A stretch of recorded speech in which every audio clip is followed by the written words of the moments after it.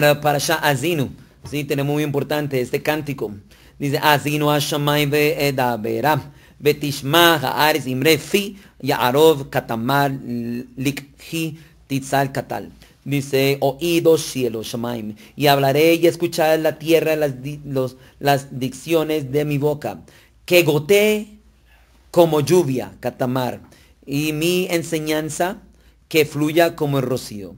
La lluvia es, es vida para el mundo, así también la Torah es para nosotros la vida. Sin embargo, es, es molestia para los viajeros transuentes, más el rocío es agradable para todos. Cuando una persona está viajando en la lluvia, es una molestia. ¿sí? Las personas que solamente van viajando etcétera y, y en este mundo no conectados, le molesta la Torah. ¿Cómo así que tengo que hacer? ¿Cómo así que tengo que hacer?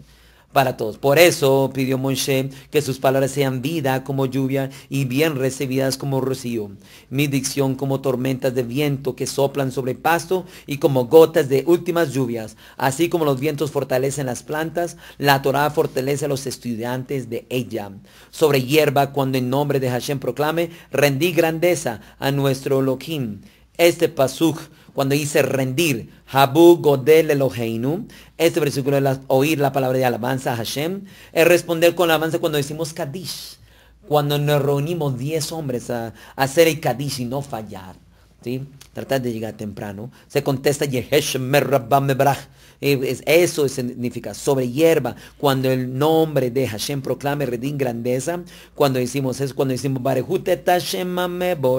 todo eso está en el Talmud Yomá 37a, también se aprende aquí que al escuchar cualquier verajá, se contesta Baruhu u Baruch ¿sí? Y en Tesh- Teshuvat Harosh 4 y, el Talmud aprende que aquí también la misma de hacer Simun. Simun con tres personas o Simun con diez personas que está en el Tratado de Berajot 45b, de exaltar, como dice, sobre hierba cuando en nombre de Hashem proclame rendí grandeza a nuestro Elohim. ¿sí? Hacer esas bendiciones.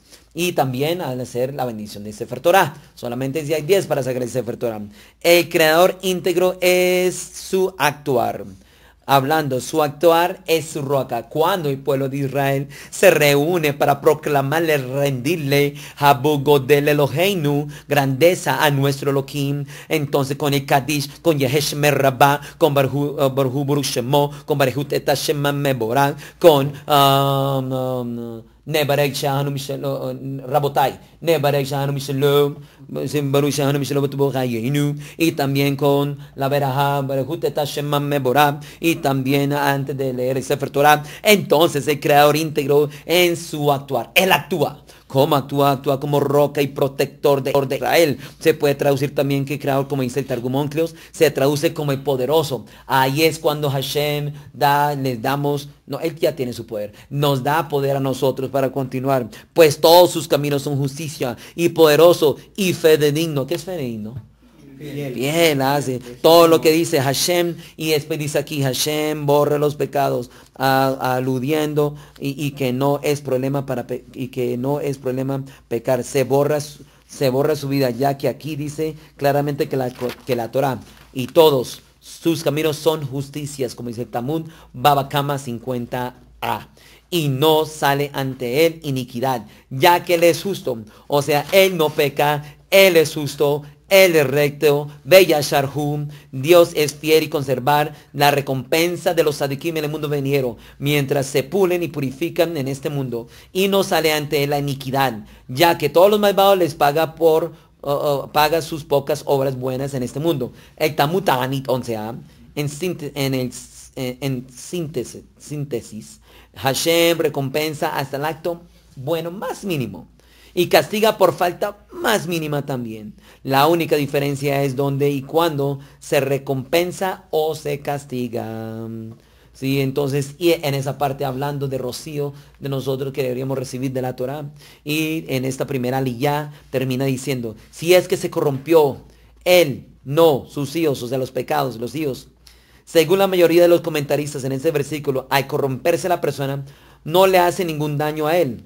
Hashem, a Hashem, sino el daño, perjuicio es para él mismo, dejando huella negativa en sus hijos descendientes. La persona que no hace la Torah, la persona que no proclama el nombre de Hashem con Minyam, si decir alabarle para que venga Rocío, para que vengan las bendiciones, entonces dice aquí, si no es que se corrompió y no engrandeció el nombre de Hashem, entonces sus hijos pagarán. Tarbud, Targum Rashi y Rabenu Yabayel, Ramban ofrece otra explicación. Si la persona corrompe y peca contra él, entonces el resultante es que lo banan eh, y que no los tratará como sus hijos.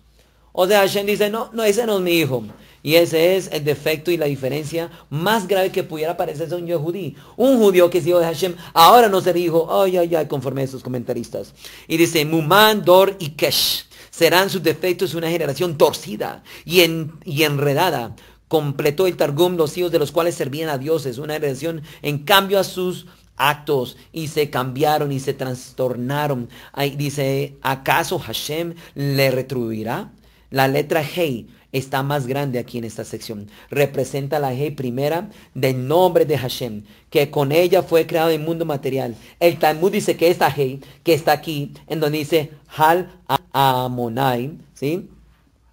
Entonces, uh, perdón, Amonai, dice el Talmud, dice que la Hey tiene una pequeña ventanita en el extremo superior izquierdo, aludiendo a que Hashem le abre una puerta para hacer Teshuvah. Quizás por esto al final de la Torah Moshe Rabbeinu puso grande esta Hey, y conforme Rabbeinu Abaye. Cuando dice, ¿acaso Hashem le retribuirá este pueblo vil que recibió la Torah?